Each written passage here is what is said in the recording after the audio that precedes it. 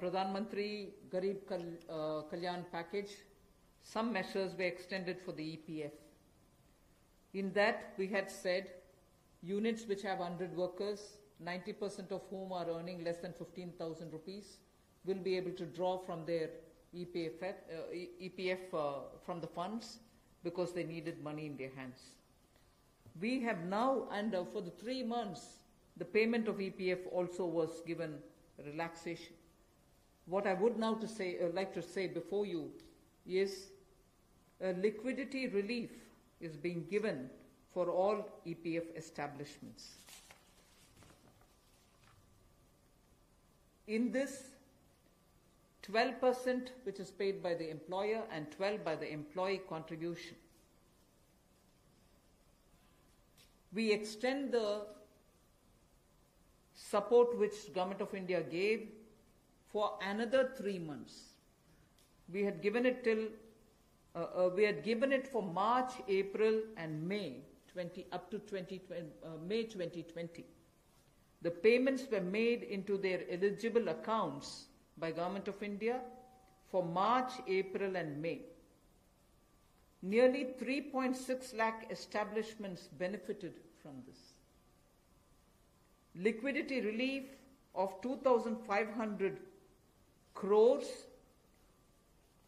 to 72.22 lakh employees is now being proposed to be provided by extending this contribution for the next three months also.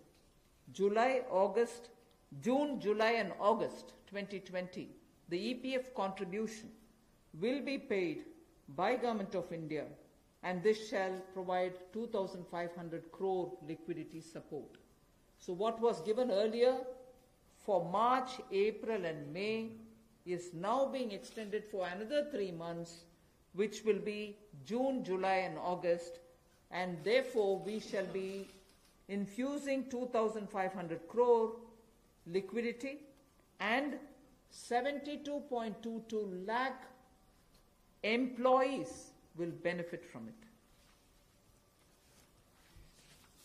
एक लाख सत्तर हज़ार करोड़ के प्रधानमंत्री गरीब कल्याण package में एक सुविधा दी गई थी कि ईपीएफ जो है प्रोविडेंट फंड जो है, वो 12 प्रतिशत जो कर्मचारी उसका भी और जो नौकरी देने वाला उसका भी 12-12 परसेंट भारत सरकार देगी। और ये पहले तीन महीनों के लिए हमने किया था, जिसकी भुगतान कर भी दिया गया पहले दो महीनों के लिए। और इसको अगले तीन महीने और बढ़ा दिया जाएगा। इसका प्रावधान भी जून, जुलाई और अगस्त के लिए कर दिया गया है। तीन लाख सतासठ हज़ार ऐसी संस्थाओं के बहत्तर लाख बाईस हज़ार ऐसे कर्मचारियों को इसका लाभ मिलेगा। जब कर्मचारी का 12 परसेंट हिस्सा भी और नियोक्ता जो नौकरी देने वाला है, उसका 12 परसेंट हिस्सा भी भारत सरकार देगी।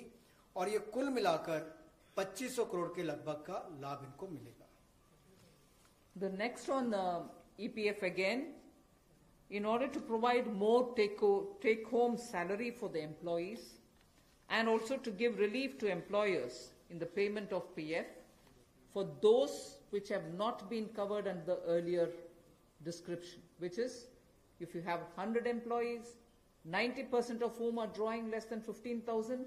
We announced a scheme earlier, which I'm extending for another three months. That's what was announced a minute ago. The second one in EPF now is the statutory PF contribution for those who are not covered in the earlier one is being reduced from 12% to 10%. So for the next three months, Employers need to pay only 10% and not 12% so that they will have some more money in their hands. However, for the central public sector enterprises and for state PSUs, we will continue to pay 12%. So this reduction is not for the government. However, government employees B, employer, government employer, still pays 20, 12%. But employees in these public sector undertakings will be given the advantage of paying only 10%. So a liquidity relief of 6,750 crores for both the employee and employer will be available for the next three months.